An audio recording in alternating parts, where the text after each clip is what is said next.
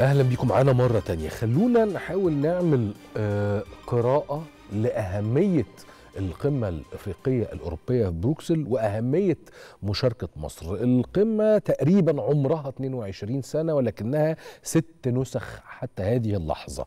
فخلونا نفعل هذه القراءة وهذا التحليل مع ضيفنا العزيز الكاتب الصحفي الكبير أستاذ عماد الدين حسين رئيس تحرير جريدة الشروق وعضو مجلس الشيوخ منور. أهلا أستاذ يوسف إزاي الحال إزاي صح كله تمام؟ فل. إيه هي أهمية هذه القمة؟ أهميتها كبيرة جدا لأنه آه، آه، أفريقيا أوروبا هي أقرب قارة لها وأوروبا دي القارة ال- التي يعني بعض دولها هي القارة اللي احتلتنا ودمرت مواردنا وما زلنا ندفع ثمن هذا الاحتلال صحيح. لحد دلوقتي. لكن في النهاية العلاقات الدولية لا تعتمد فقط على الماضي والجراح والناس بتحاول تستفيد من بعضها البعض. إحنا محتاجين إحنا كأفريقيا محتاجين أوروبا احتياج كبير جدا زي ما محتاجين أمريكا ومحتاجين الصين وروسيا والدول الكبرى لأنه لا يمكن للقارة الأفريقية بمواردها اللي موجودة دلوقتي وب- وبالنوعيه الإدارة اللي فيها ونوعية غالبية الأنظمة اللي موجودة فيها إن هي تمشي بهذه الطريقة وتكمل الطريق. فأنت محتاج العالم كله معاك عشان آه، تعيش. فالقمه دي زي ما حضرتك تفضلت أول نسخة كانت موجودة في مصر اتعملت سنة 2000 اتعملت ست نسخ لحد دلوقتي. كان آخر واحدة فيهم في ابيجان عاصمة ساحل العاج. والقمة دي كان يفترض إن هي تعقد من سنتين لكن بسبب كورونا آه، كورونا أجلت حاجات كتيرة كان من. ضمنهم هذه آه، القمة. ال- آه، إحنا عايزين إيه من من أف... إحنا أفريقيا محتاجين إيه من أوروبا؟ طول الوقت أحد أسباب سوء العلاقة أو أسباب فشل معظم ال- الصيغ العلاقة إن كان يتم اختزالها فقط في الفلوس. ادينا فلوس عشان ننمي ونعمل تنمية. كانت أوروبا للأمانة بتدفع يعني آه، بعض المساعدات النقدية بين الحين والآخر لكن آه، بما إنه في أحد مشاكل قارة أفريقيا هو الفساد. فالفلوس اللي بتيجي سواء من أوروبا أو من الصين أو من الدول الكبرى للتنمية جزء كبير جدا منها بسبب غياب الحوكمة والرشادة السياسية وسوء الإدارة وسوء الفساد في معظم الدول الأفريقية مش كلها. فكانت بتهدر بتروح إلى طبقات من الفاسدين اللي هم بيحكموا أو عناصر الحكم. فبالتالي هذا الفساد أثر كثيرا في فكرة استفادة القارة الأفريقية من المساعدات اللي بتجيلها. ثم إنه الدول الأوروبية بعض الدول الأوروبية أيضا يعني هم مش ملائكه هو عايز ياخد منك المواد الخام طول الوقت.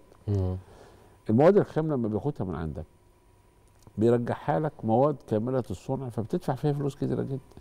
يعني وأنا بقلب وأنا بذاكر قبل ما أجي لحضرتك ال ال الرقم ملفت جدا إنه الاتحاد الأوروبي صدر لأفريقيا ب 140 مليار يورو وأفريقيا صدرت للاتحاد الأوروبي ب 114 مليار فرقم كبير كويس جدا بس هو مش كويس للأسف لأن دي مواد خام أنت بتاخدها مش ما بتعملش تصنيع أنت بتطلع المطاط ولا البترول ولا الغاز ولا. المعادن ولا اليورانيوم وهم بياخدوها والصين بتشارك في ده. على فكرة مش الدول الغربية بس الصين هي المستثمر الأكبر, الأكبر. في في آه، في القارة الأفريقية دلوقتي. فبياخدوا منك هذه المواد الخام كلها ويرجعها لك آه، تاني. فبالتالي طول الوقت كان النقاش حوالين إيه؟ جوهر العلاقة. يا اخوانا ساعد- ساعدونا إن إحنا نعمل تصنيع. يبقى في استثمار حقيقي عشان يخلق فرص عمل فالناس تستقر وتشتغل. بدل ما تطلبونا طول الوقت المطلب الأوروبي الأساسي من الدول الأفريقية وقف الهجرة غير الشرعية. كويس محدش لا أحد يطالب بالهجرة غير الشرعية لأن هي بتموت الناس في البحر. طيب عشان الناس ما تهاجرش ما هو محتاج يبقى في أمل موجود. لازم يبقى فيه اولا تنظيم للهجرة الشرعية. خد الناس الكويسة اللي بتعمل لها اختبارات يروح عندك. بس اعمل استثمار حقيقي عوض القارة الأفريقية عن سنوات القهر والعبودية والاستغلال واعمل تصنيع حقيقي.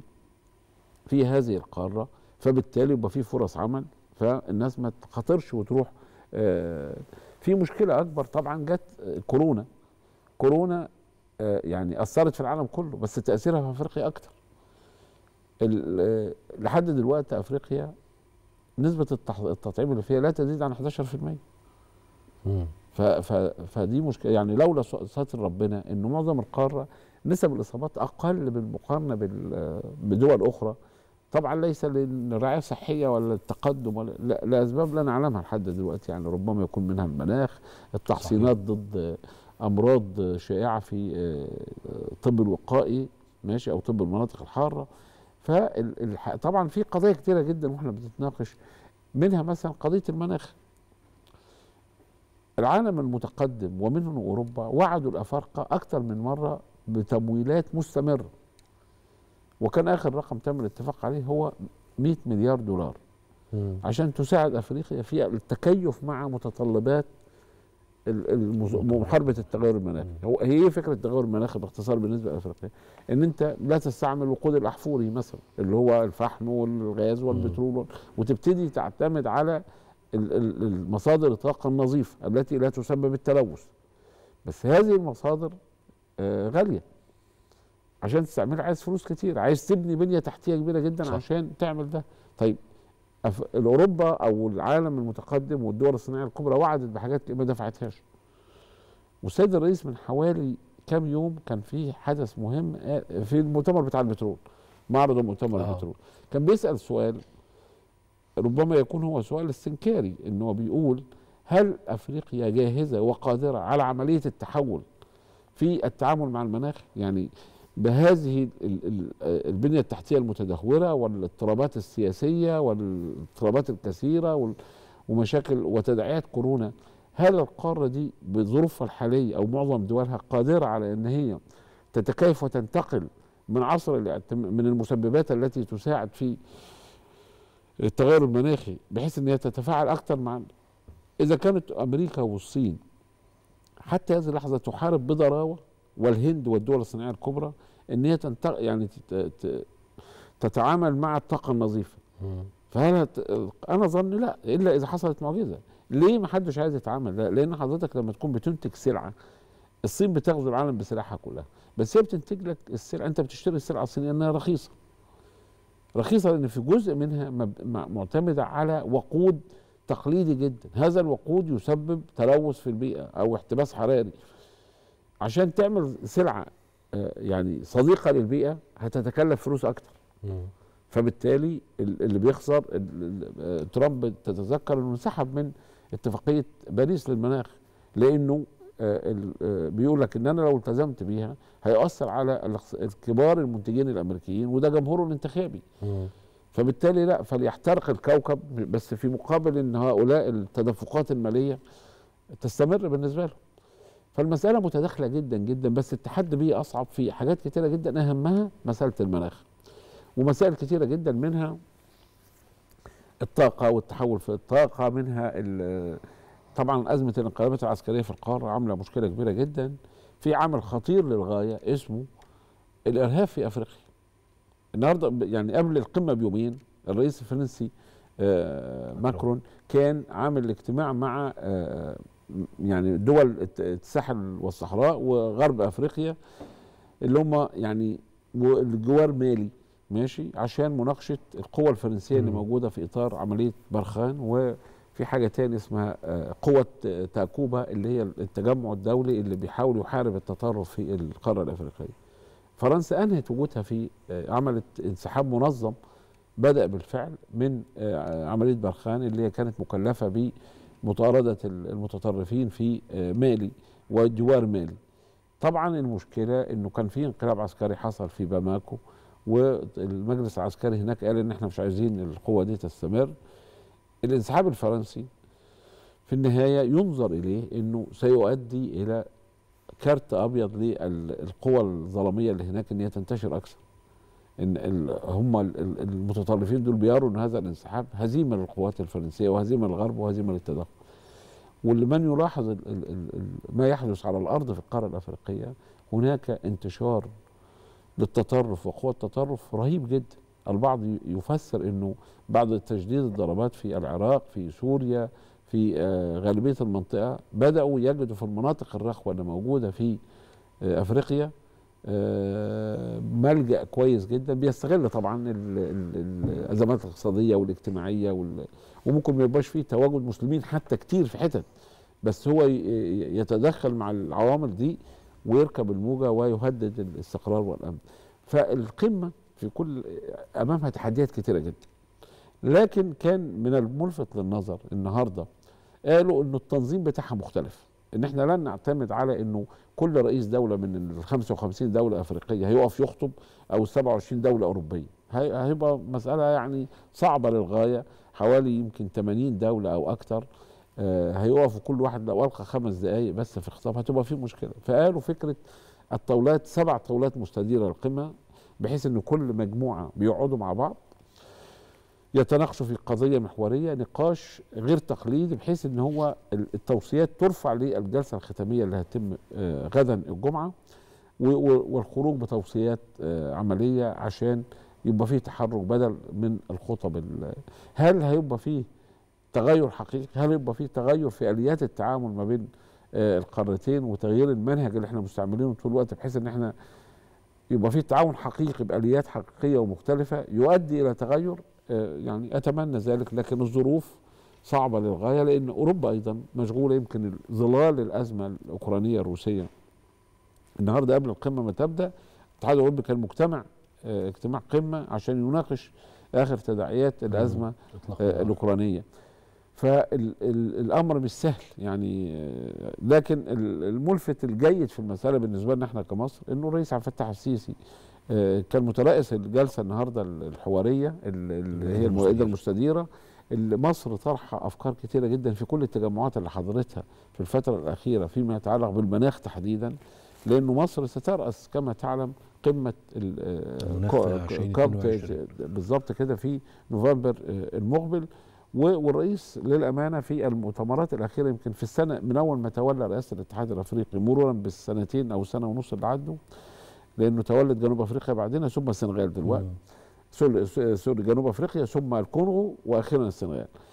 وهي فكرة إنه كيف يمكن للأفريقي أن تحصل على حقها الطبيعي في, في علاقاتها مع المجتمع الدولي. ولذلك الرئيس في كل كلماته اللي كان بي أو محادثاته مع الدول الكبرى كان بيتكلم على إن على العالم الغربي المتقدم أن يفي بتعهداته فيما يتعلق بالتمويل الذي وعد به.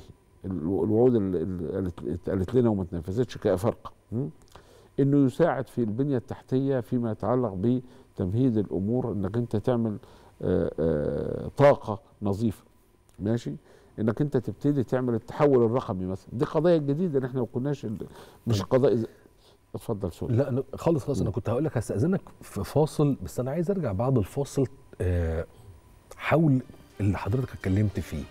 إنه السؤال هو علشان الأوروبيين آه، يحققوا تعهداتهم هو السؤال هو الأوروبيين فعلا قادرين يشتغلوا بمنطق تحمل مسؤولية ما تم اقترافه في القرن ال 17 وال 18 وال 19 وحتى الربع الثالث من القرن العشرين سواء إذا كان استعباد أو ذبح أو تطهير عرقي أو استغلال ثروات أو سلب أو نهب أيا كان ده واحد. هل هم ده هنا دون نكأ لأي جراح بس هو أنت السبب في اللي حصل في إفريقيا فأنت مستعد تتحمل مسؤوليتك بجد ولا مش مستعد؟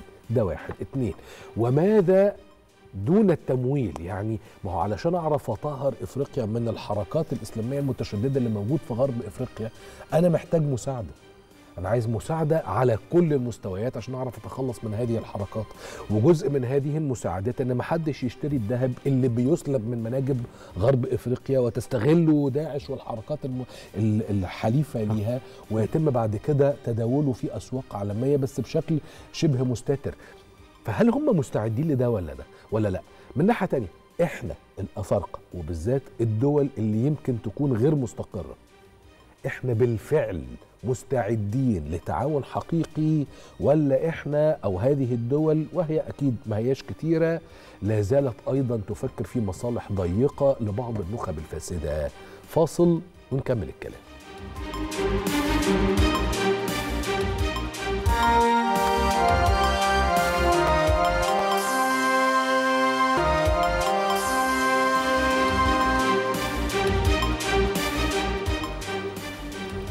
طيب خلونا نجدد ترحيب مرة تانية بضيفنا العزيز كاتبنا الصحفي الكبير أستاذ عماد الدين حسين رئيس تحرير جريدة الشروق الغراء وعضو مجلس الشيوخ وكنت بقول هل الجماعة الأوروبيين واعين ومستعدين للتعامل في إطار تحمل مسؤولية ما اقترفه العالم الحر طبقا لتعبيراتهم يعني أو الأخ المواطن الأبيض العرق أو أخونا الأوروبي؟ من جرائم في إفريقيا متعلقة سواء إذا كان بالاستعباد وبالقتل وبالنهب وبسرقة الموارد وما إلى ذلك وحتى الاستغلال فيما بعد استقلال الدول الإفريقية كان يتم استغلال من خلال بعض الأنظمة الفاسدة التي تحكم. هل الأوروبيين مستعدين يساعدوا في مسألة القضاء على التطرف تحديدا الجماعات المتشددة المسلحة اللي في غرب إفريقيا ولا هتبقى المسألة دايما في إطار أنا هحدف لكم قرشين وتصرفوا؟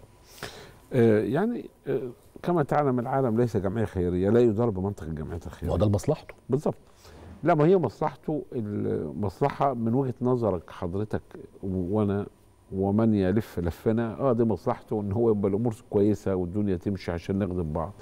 اللي هو زي المفروض من مصلحة إسرائيل إن الشعب الفلسطيني يبقى هانئ ومحترم ومستقل وقاعد في دولة طبيعية. لكن هو يقول لك أنا ليه أديهم دولة؟ وأنا مش مش محتاج ما هم منقسمين ومتفرقين? إسرائيل ستوافق على دولة فلسطينية حينما تشعر أن ثمن احتلالها أكبر من ثمن هذا الاستمرار. وبالمنطق نفسه ده ممكن مثل بعيد شوية بس ممكن نقيس عليه طول الوقت. ما الذي يدفع ال- الأوروبيين أو الغرب عموما إن هو تن- تنهض القاره أنت عايز موارد؟ وعايز وقف هجرة غير شرعية؟ وعايز عدم تصدير الإرهاب بس لو وعايز ترويج لمنتجاتك. حلو. إذا أنا التجربة ماشية وأنا بدفع ثمن أقل المنطق الاقتصادي طول الوقت هو منطق يعني أو العالم أو معظمه بيفكر بمنطق اقتصادي. إذا هذه الصيغة ماشية فكويس خير وبركة. مش أنت عاوز تبيع؟ أيوه لما تت... لازم يكون في عندي فلوس أبقى زبون. ما أنا ما هو ما بتمشيش بالشكل ده طول الوقت.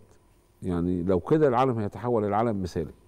لكن ال ال يعني في جزء من التفكير الغربي ما زال موجود لدلوقتي الك- الكلام اللي عبر عنه آه كيبلينج اللي كان بيقول الشرق شرق والغرب غرب ولا يلتقيان.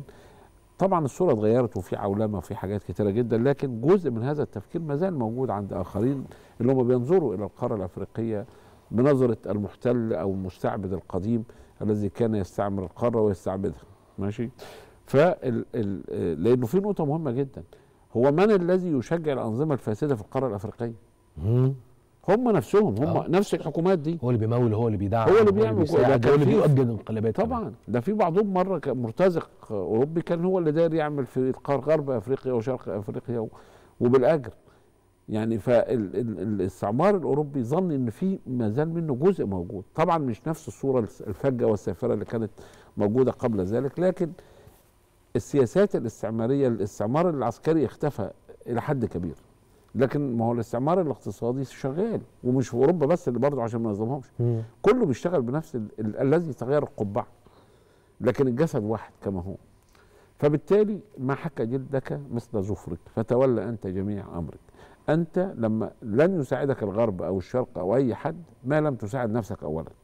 يعني للأمانة برضو عشان لا نحمل شماعة نعلق كل مشاكلنا على شماعة الاستعمار وهي شماعة حقيقية. لكن يعني هل هيبقى فيه يعني طبقة فاسدة في عدد كبير من الدول الأفريقية م? تنهب ثروات بلادها اولا بالتعاون مع بعض ال- الغربيين أو بعض الأجانب. واجي الوم الغرب ولا الوم هذه الطبقة الفاسدة؟ واللي بيبقى الضحية الوحيدة ليها هو المواطن ال- ال- أو الشعوب الأفريقية ال- آه، يعني الحمد لله إنه طبعا إحنا مصر وغالبية دول شمال أفريقيا حالها أفضل كثيرا إلى حد ما. في بقع ضوء كتيرة في أفريقيا زي رواندا كانت أثيوبيا بدأت تصعد آه، في فترة مم. آه، لكن ال- ال- الجنون أبي أحمد و- والحرب الأهلية والقمع اللي حصل في التجري والقسمات رجعتهم سنوات طويلة جدا. ولذلك المشكلة أحد المشاكل الحقيقية أن أفريقيا ما زالت قارة هشة جدا فيما يتعلق بالحكم الرشيد. ال- ال- يعني في تقارير كتيرة جدا طيب أنت عشان تعمل تنمية حقيقية في أفريقيا ما انت محتاج الأول مش هتعمل تنمية هو مصر عملت التنمية والتقدم بتاعها إيه؟ الأول كان عندك إرهاب كبير جدا سيطرت عليه وحيدته لحد كبير. عملت بنية تحتية الناس كانت بت- بتنتقدها فترة يقول لك الحجر ما هو أنا لازم أعمل الحجر ده لازم أعمل الطريق والمستشفى والمدرسة والمصنع والمينا ما دي كلها حجارة بس مش ينفع أعمل البشر قبل ما أعمل ده. فأنت عملت ده وبعد كده انتقلت إلى عملت برنامج الاصلاح الاقتصادي. بعدها بدأت الاستثمارات تجي لك هو حد هيجي يب- يبني لك مصنع أو استثمار أجنبي وأنت ما عندكش لا طاقة ولا ولا كهرباء طرق ولا, ولا طريق. ولا مطارات ولا طاقة ولا حاجة. فبالتالي ال- ال- آه، هل تستطيع القارة الأفريقية إنها تنجز ما انجزته مصر مثلا في السبع ثمان سنين اللي فاتت؟ أنا أظن إن الأمر صعب جدا يعني يعني الواحد يتمنى. لأنه ال ال ال ال الأمور ال- على المستوى ال- المادي في صعوبات كبيرة جدا، في فساد كبير جدا، في ال- ال- التماسك الاجتماعي والسياسي ضعيف. وانت لما تيجي دولة زي إثيوبيا الناس بتتقاتل على الهوية دلوقتي وكله عايز يستقل. مم. شوف اللي بيحصل في غالبية القارة الأفريقية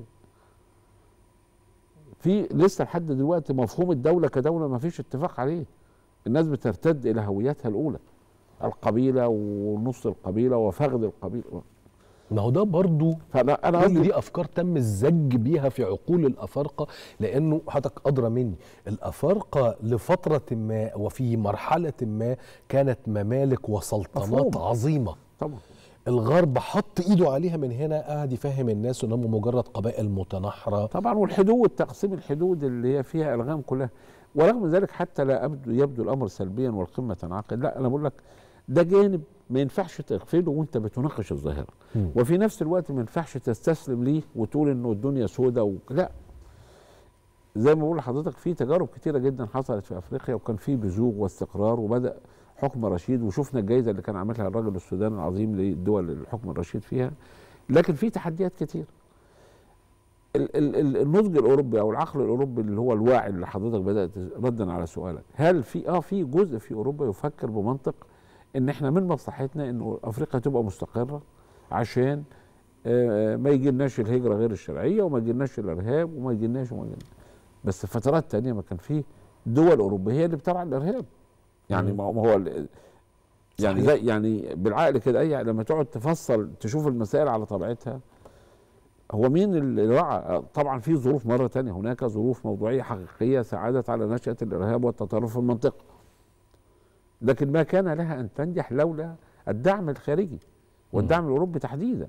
إن خلوهم يقتلوا ببعض خلوهم كان الدكتور حامد ربيع زمان الله يرحمه بيقول إنه آه، إن أوروبا آه، آه، يعني يأست من القارة الأفريقية وشايفة إنه ينبغي إن إحنا نبيد العنصر ده بأمراض أو بيئة بحاجات عشان نتخلص منهم ومن همومهم رغم إن هم سبب همومنا أو السبب الرئيسي إن هم السبب آه آه. فقصدي إنه يعني علينا أن أن إن إحنا نضغط على الأوروبيين ونستعمل طول الوقت الخطاب الاقتصادي والسياسي والأخلاقي. إحنا إنه من أجل سلامتكم ومن أجل مصلحتكم أفريقيا لابد أن تكون مستقرة يتنقل لها آه، لقاحات جيدة يتعمل فيه بنية تحتية يبقى فيه استثمار مشترك حتى بمنطق إن أنتم تستفيدوا منه. يا سيدي ما هو أصل كل أنا مستغرب بصراحه ما كل ده لما هيحصل ما حدش هيطلب منك مساعدات تاني. يعني خلاص أنا مش قادر أفهم بصراحة. وعندهم تجربة قدامهم حصلت في مصر. ألم تكن هذه التجربة ناجحة؟ قيس عليها واشتغل. شيء منتهى الغرابة. الوقت جري ودي حاجة مؤلمة. وقعدتك ما يتشبعش منها بجد والله العظيم. ألف شكر ليك أستاذ عماد الدين حسين كاتبنا الصحفي الكبير ورئيس تحرير جريدة الشروق وعضو مجلس الشيوخ. نورنا وشرفنا في هذا اليوم وحلقة الخميس من برنامجكم التاسعة. لو كلنا العمر أجي لكم بقى أنا يوم السبت. سلامات.